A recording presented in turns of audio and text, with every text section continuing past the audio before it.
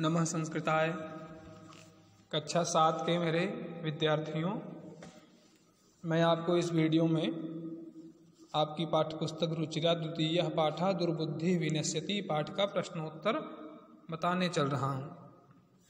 देखिए, अभ्यास उच्चारणम कुरु उच्चारण करना है। फुल्लोत्पलम अवलंब्य पक्वा कम्बुग्रीव आवाभ्याम। भक्षयिष्यामि। उक्तमान। हृदम। सुहृदाम। भवद्भ्याम। उड्डीयते। भ्रष्ट। इस तरह से उच्चारण करेंगे। आप पाठ को बेहतर ढंग से पढ़ेंगे। सभी शब्दों का उच्चारण करेंगे। फिर है एक पदेन उत्तरत कूर्मस्य किम नाम? कछुए का क्या नाम था?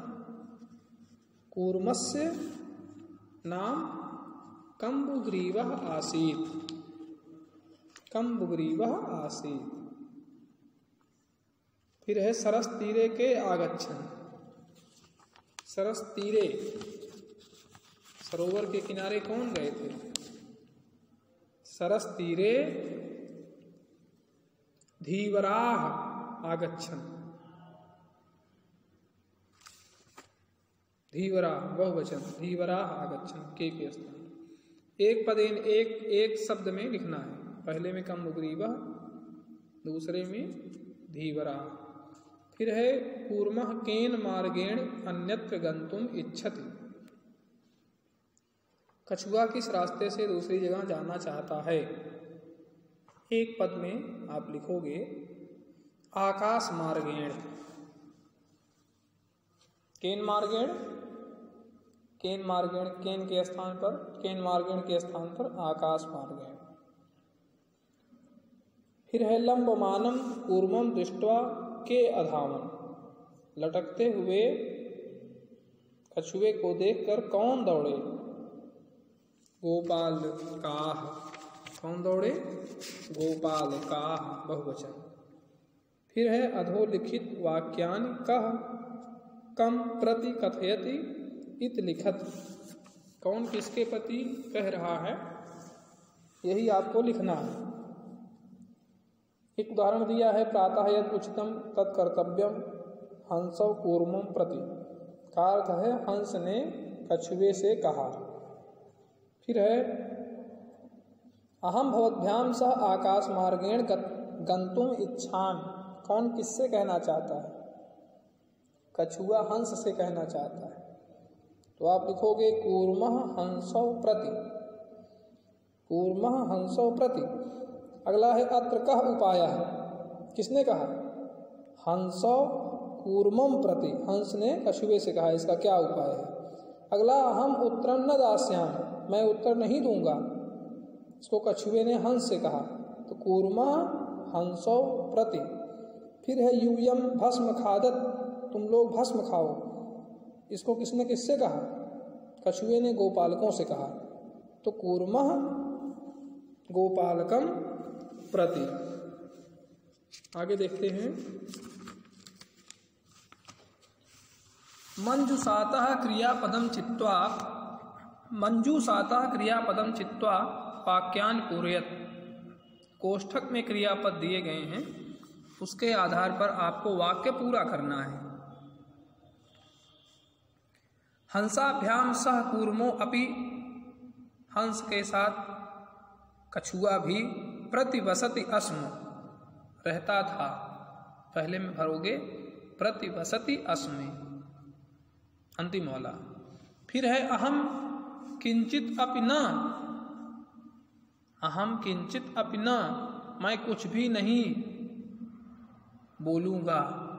अहम किंचित अपना न वदिष्यामि। मैं कुछ भी नहीं बोलूँगा। वदिष्याम भर दीजिए इसमें। अगला है यह हित कामना नाम सुहृदाम वाक्यम न पहला वाला, अभिनंदति। यह जो हित कामना, हितैषी मित्रों की वाक्य का स्वागत नहीं करता, यह हित कामनाम सुहृदाम वाक्यम न अभिनंदति। अगला है कूर्म, एक कूर्म अपि तत्रैव, एक कूर्म अपि तत्रैव प्रतिवसति अस्म हो जाएगा। एक एक कूर्म अपि एक कछुआ भी उनके साथ वहाँ रहता था। जो पहला है हंसाभ्याम सा कूर्मो अपि वहाँ हो जाएगा, उड्डीयते। मैंने प्रति बसत यस्म बताया था, वो नहीं होगा। वहाँ होगा, हंस, दोनों हंसों के साथ कछुआ भी उड़ रहा था। और यहाँ है, कछुए के साथ दो हंस भी रहते थे। ये सही है प्रतिबसत यस्म अगला है, अहम आकाश मार्गेण अन्य अन्यत्र गंतुम इच्छाम। इच्छाम भर देंगे। अगला है वयम गृह नीत्वा कूर्मम भक्षयिष्याम। हम लोग घर ले जाकर कछुए को खाएँगे, भक्षयिष्याम। फिर है, पूर्ण वाक्यन उत्तर पूर्ण वाक्य में उत्तर देना है। कच्छप कुत्र गंतुम इच्छति? कछुआ कहाँ जाने की इच्छा करता था? लिख दोगे ना? अन्यत्र गंतुम इच्छति। कच्छप अन्यत्र गंतुम इच्छति। कछुआ दूसरी जगह। जाने की इच्छा करता था। कच्छप कम उपायम वदति। कछुए ने कौन सा उपाय बताया? कछुए ने कौन सा उपाय बताया? युवाम कष्ट काष्ठ दंडम एकम चंचवा धारयताम अहम काष्ठ दंड मध्ये अवलंब युवतो पक्ष बलेन सुखेन गमिष्याम। तीसरे पैराग्राफ में लिखा गया है, तीसरे अनुच्छेद में। देख के लिख लेना। अगला है लंबमानम कूर्मम दृष्टवा गोपाल का किम अवदन? क्या कहा?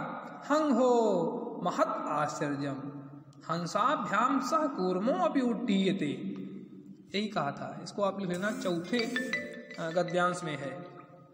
फिर है, कूर्म मित्रो वचनम विस्मृत किम अवदत? मित्रों की बात को भूल कर क्या कहा? मित्रों की बात भूल कर कहा, युगम भस्म खादत। तुम लोग भस्म खाओ। यही कहा था। इसको लिख लेना। फिर है, घटना क्रमानुसारम वाक्यान लिखत। इसको मैंने पेंसिल से लिख दिया है। घटनाक्रम के अनुसार कौन कौन सा वाक्य होगा? पहला, दूसरा, तीसरा, चौथा, इस क्रम में आप लगा लीजिए। इस क्रम में आप सब कापी में लिख लेंगे। पहला, दूसरा, तीसरा, चौथा, पांचवा। इसे गा पहला हो जाएगा। घा, दूसरा। इस तरह से देख के आप लोग कर लेंगे। आगे देखते हैं। सातवां। मंजूसात पदान चित्वा रिक्त स्थानान पूर्य इसको भी मैंने पेंसिल से लिख दिया है। अर्थ मैं इसका बता दे रहा हूँ। एक वृक्ष से शाखा से अनेके काका वसंती अस्म। एक वृक्ष की शाखा पर अनेक कौए रहते थे। तस् वृक्ष कोटरे एक सर्प अपि अवसत। कोटरे भरा जाएगा, पेंसिल से मैंने भरा है। उस वृक्ष के कोटर में एक सर्प भी रहता था। काका नाम अनुपस्थित सर्प, काका यहाँ सर्प भरा जाएगा। कौवे की अनुपस्थिति में सर्प कौओं के बच्चों को खा जाता था। काका नाम शिशून खादत यस्म। काका दुखिता आसन, कौवे दुखी हो गए। तेज एक वृद्धा काका उपायम अचिंतियत उसमें से एक वृद्ध कौवे ने उपाय बताया वृक्ष समीपे जलाशय आसी वृक्ष के समीप जलाशय था। तत्र एका राजकुमारी स्नातुन जलाशयम आगछति अस्म। वहाँ एक राजकुमारी स्नान करने के लिए आती थी। शिलायाम स्थिता तस्याम आभरणम आदाय। शिला पर रखे गए उसके आभूषण को देख करके एक काका वृक्ष से अस्थापयाम। अस्थापयत अस्थापयत। शिलायाम स्थिता तस्या आभरणम आदाय शिला पर रखे गए उसके आभूषण को लेकर एक कौआ वृक्ष के ऊपर रख दिया। राजसेवका काकम अनुसृत्य वृक्षस्य समीपम अगच्छन। राजा के सेवक सिपाही, राजा के सिपाही राज सेवक कौए का अनुसरण करते हुए वृक्ष के समीप आए। तत्र ते तम सर्पम च अमारयन। वहाँ उनके द्वारा वह सर्प मार दिया गया। तत्र ते, वहाँ उन्होंने तम सर्पम च उस सर्प को अमारयन मार दिया। अतः एवं उत्तम अतः सही कहा गया है। उपायन सर्वम सिद्धयति। उपाय के द्वारा सब कुछ सिद्ध हो जाता है।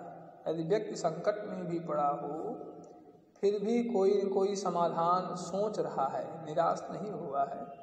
मन में कोई न कोई उपाय सोच रहा है। संभव है उस समस्या का समाधान मिल जाए और वह परेशानी से बाहर निकल आए।